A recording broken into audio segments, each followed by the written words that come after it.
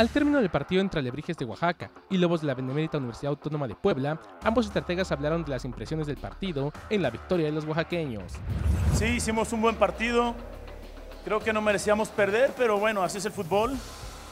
Este, en la que tuvo Alebrijes la, la consiguió, nosotros tuvimos unas más y no pudimos concretar, pero me voy tranquilo porque mi equipo mostró mucha personalidad, buen fútbol y a pesar de que Lebrige es un gran equipo y juega muy bien, creo que hoy lo hicimos ver mal, segundo tiempo.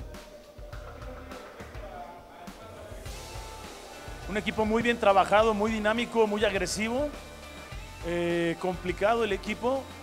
Eh, creo que es un, un, gran equipo. Por su parte, el estratega de Alebrijes se mostró contento por el resultado, pero molesto por el accionar de su equipo, pues en el segundo tiempo jugaron mal.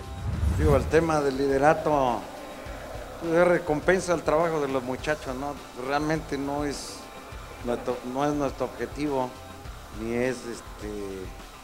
Vamos, yo creo que ya ahora lo valoraremos más y no será un factor distractor como la otra ocasión. Eh, yo creo que fue muy difícil hoy. Jugamos contra un equipo que para mí, de los que he enfrentado, de los más fuertes y de los candidatos a pelear el título. Y pues tuvimos dos fases, un primer tiempo muy bueno y un segundo que no fuimos el equipo que debemos ser.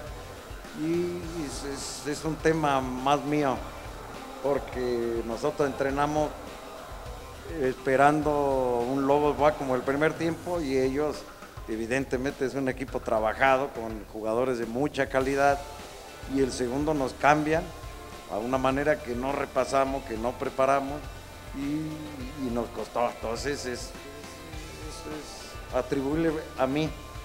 ¿Y ¿qué, qué nos queda? Trabajar. O sea, trabajar y aprender que ese segundo tiempo nos expusimos.